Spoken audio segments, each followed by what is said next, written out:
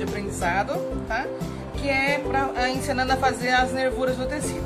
Tem várias pessoas no canal e no grupo pedindo para aprender a fazer as nervuras, tá? Tem vários vídeos aí na internet de formas de fazer, eu vou mostrar para vocês como eu faço para mim, nas minhas peças, tá bom? Não é difícil, é simples, porque agora nós vamos entrar em alguns vestidos de festa pro Natal, né? Então eu vou fazer é, alguns peitinhos que também estão me pedindo muitas das partes das costas, como fazer aquele decote V com, com aquele elástico nas costas, né? Então eu vou fazer alguns modelos e na frente eu vou colocar nervura, tá? Vamos aproveitar então para fazer essa aulinha, que é simples e é rápido e fácil de fazer, vocês vão gostar. Para fazer as nervuras, a gente precisa primeiro fazer as medidas no tecido. Quando você for fazer num pedaço de tecido para você fazer o peito de um vestido, por exemplo, não esquece que conforme vai fazendo as nervuras, ele vai diminuir tanto nessa direção como nessa, tá? Então, ele vai diminuir pouco, mas vai diminuir sim. Então, você não pode cortar sendo o tamanho do peitinho, corta maior, tá? Eu vou fazer um peitinho mais ou menos desse tamanho e eu deixei o espaço maior de todos os lados, que é pra gente poder depois cortar o nosso peito. A outra coisa, pessoal, é que a gente tem que primeiro fazer as nervuras, depois cortar. Não pode cortar o peito e fazer a nervura, porque o peito vai ficar muito menor e não vai entrar na criança depois, tá? Então, pra fazer a nervura simples, ó, eu peguei um tecido, esse aqui que eu tô usando é um tricoline, tá? E olha, eu não tô, não passei, não fiz nada ainda nele não, tá? Nós vamos agora passar só a régua com as medidas. Você pode usar pra fazer é, os traços, né? Um sabonete, olha, eu tenho vários sabonetes aqui que eu vou guardando, né? Eu pego um sabonete assim, ó, que, com, que eu faço que o traço assim apareça pra mim, sabe? E aí então, deixa eu ver um mais escurinho aqui. Aparecer o traço aqui pra mim, já é o suficiente. Aí, na aula, aí você não vai conseguir enxergar muito bem. Deixa eu ver se eu pego esse pauzinho aqui. É, vocês não vão conseguir enxergar muito bem não. Eu tô vendo, tá? Mas vocês não vão conseguir enxergar bem não. Então você usa ou um sabonete pra fazer o risco, ou aqueles lápis é, caneta, né, é, fantasma. Esse aqui, ó, eu comprei numa papelaria e ele dizia que era aquele para costura. Só que isso aqui não serve não, tá, pessoal? Que depois ele não sai com calor. Eu passei o ferro e não saiu. Então, observe primeiro, faça testes, tá? Para depois não estragar a peça. Né? Então, acha um, um, uma caneta fantasma ou até mesmo o grafite mesmo. Eu vou passar no grafite fraquinho, para não aparecer muito, tá? Porque para tentar mostrar para vocês como é que fica. Ó, a gente pega uma régua, tá? E aí nesse canto aqui, ó, do, do, do tecido, aqui, eu vou marcar, um, vou marcar 10 centímetros. Tá? Então eu venho aqui no limite e marco 10 centímetros aqui, ó. A mesma coisa eu vou fazer do outro lado, ó. Venho até aqui no limite e marco 10 centímetros. Pronto. Tem dois pontos. Eu vou pegar aqui, ó, e vou juntar essas duas linhas. Se você tem esquadro aí, você então não precisa, que você encoste o esquadro aqui, ele vai ficar na medida exata do esquadro, tá? Com essa medida que eu tracei aqui, ó, eu tô traçando mais escura para vocês enxergarem mesmo, tá? Também depois eu vou ver se eu faço a minha nervura com uma linha de outra cor para vocês verem exatamente como fica. Ó, então aqui eu passei o primeiro traço. Agora eu vou usar a própria régua como medida. Agora, essa medida, gente, é sugestiva. Cada um usa a medida que quiser. Você pode medir 5 centímetros. Você vem aqui, ó. Mede 5 centímetros aqui. Mede 5 centímetros do outro lado e passa o risco, tá? Você pode medir 7 centímetros, de quantos centímetros você quiser. Eu vou colocar a régua como medida. Vamos ver quanto mede a minha régua aqui. Olha, minha régua, ela mede 4 centímetros exatamente, ó, 4 centímetros. Pra ficar mais fácil pra mim, então, eu vou posicionar a minha régua aqui no traço que eu passei. E vou passar o traço seguinte, ó. Olha como é fácil, tá vendo? Daqui eu faço pra baixo também, ó, até terminar o tecido.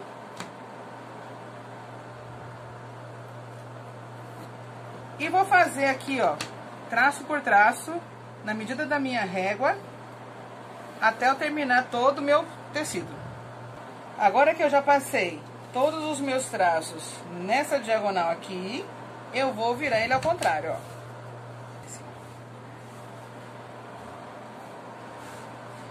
E agora eu vou medir esse lado, ó. Eu medi esse lado, vou medir agora esse lado aqui, tá? Vou fazer da mesma forma, vou pegar aqui, no, na extremidade do tecido eu vou medir 10. do outro lado, vou medir 10, da extremidade pra cá, tá? Ó, e aqui de uma ponta a outra eu vou riscar. Já vou marcar aqui a parte de baixo e vou fazer a marcação inversa aqui em todo o meu peitinho. Opa.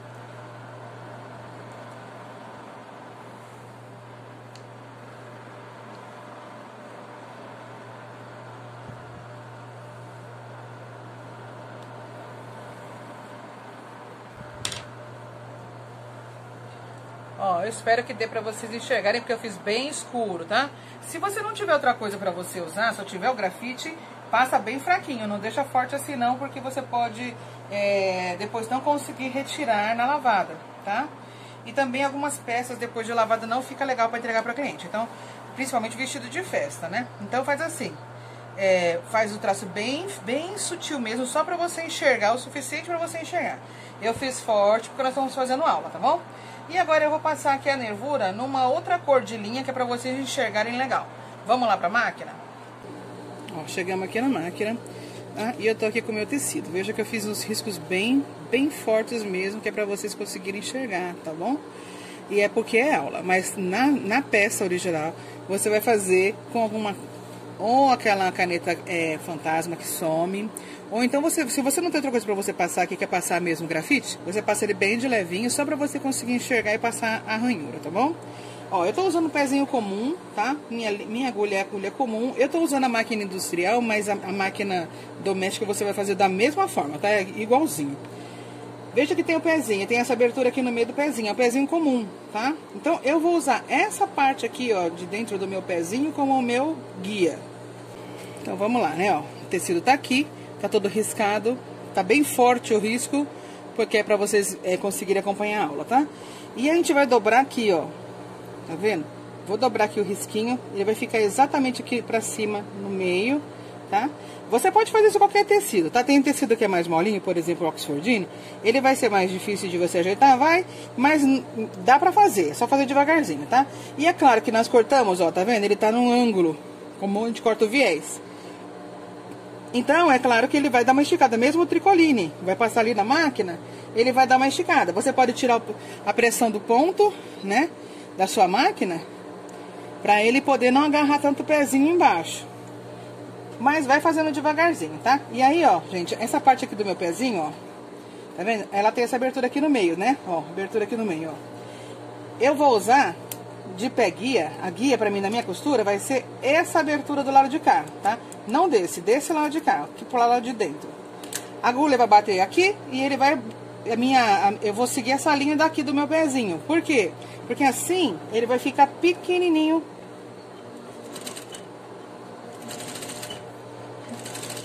Veja que eu tô seguindo a guia, tá vendo? Meu tecido tá dobrado nesse, bem aqui, ó.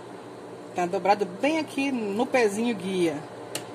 Aqui pra mim eu vou me guiar por isso aqui. Então eu vou só fazer com que essa parte aqui fique sempre nessa, nessa altura aqui. Vou costurando devagarzinho assim, ó. E vou acompanhando o desenho pra ele não ficar torto, tá? Tiro aqui, ó. Tiro a linha dos dois lados, olha. Tá vendo onde passa a costura? Bem na beiradinha, gente. Acho que deu um ou dois milímetros só. Bem pequenininho mesmo, muito menos do que os 5 milímetros. E isso aqui já fica nervura, ó. Tá vendo? Ele fica altinho assim, ó. Tá? A gente vai fazer, então, é, essa nervura em todas as riscas até terminar o tecido nessa, nessa direção aqui, tá?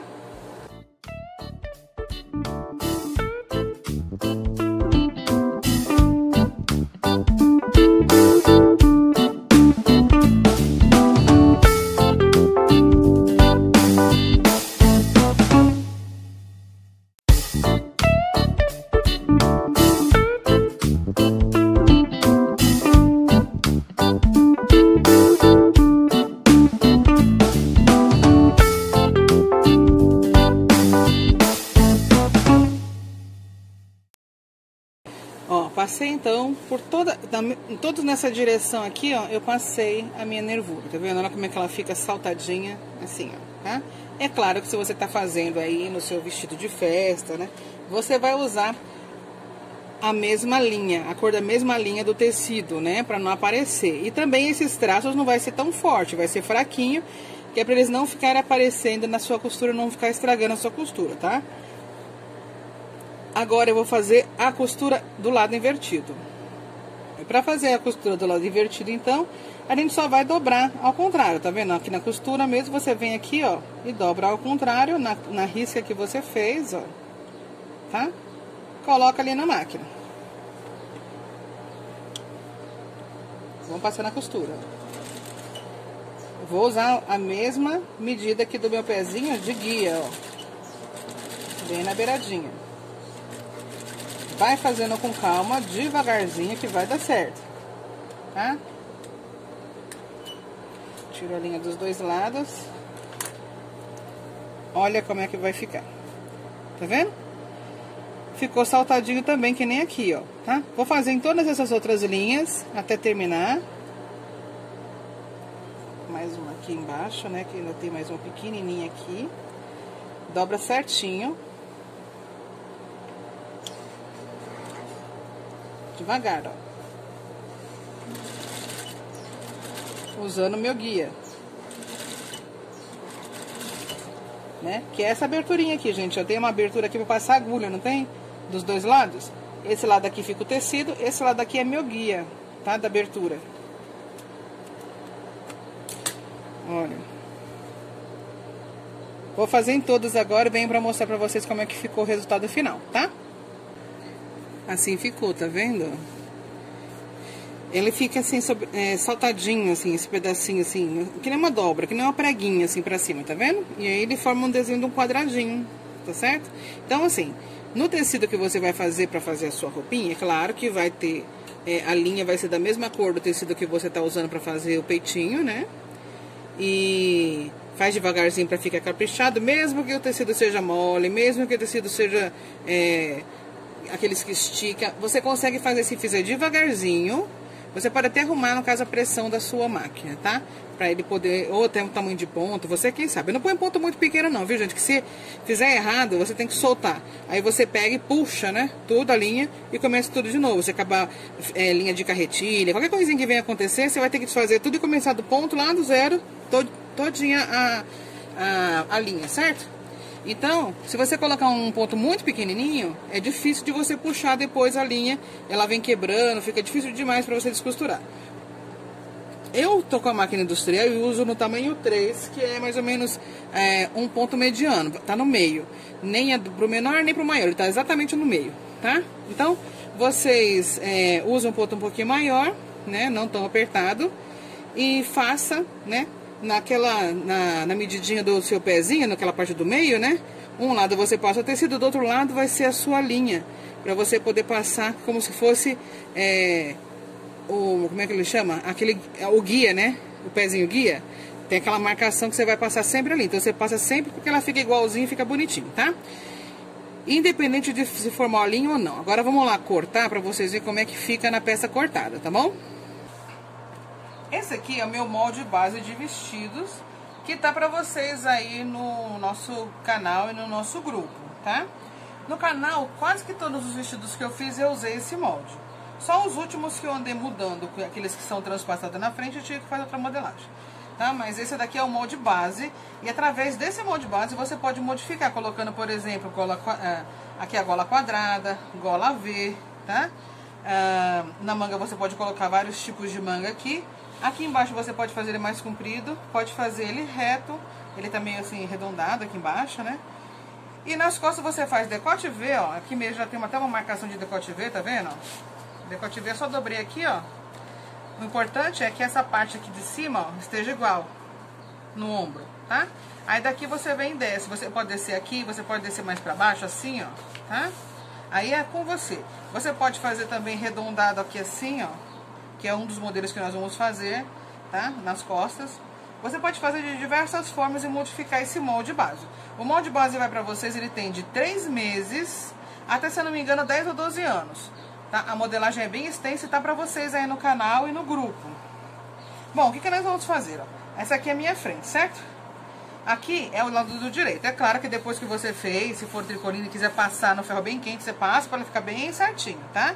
Para ficar bonitinho até para trabalhar. Nós estamos fazendo aula. Eu vou dobrar aqui, ó, como se fosse o direito, gente, um tecido comum, tá? Direito para fora, ó, dobrei.